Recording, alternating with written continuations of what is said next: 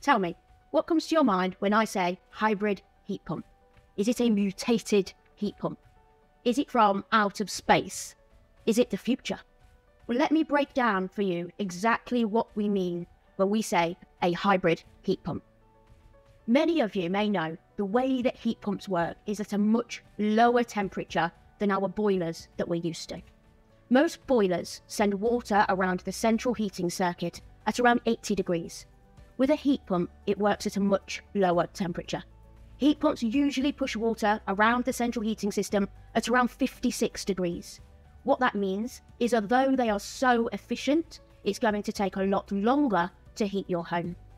Based on recent tests that Fischer carried out, often it was taking until 4 o'clock in the afternoon for a heat pump to raise the house temperature from 18 to 21 degrees.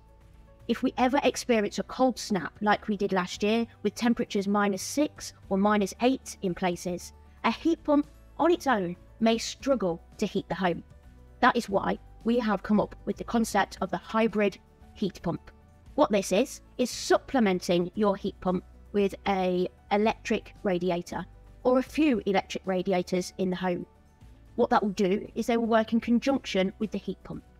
The electric radiator being in the most used room, often a lounge, and of course will help assist the heat pump in raising temperatures from 18 to 21 or whatever you feel comfortable with in your home.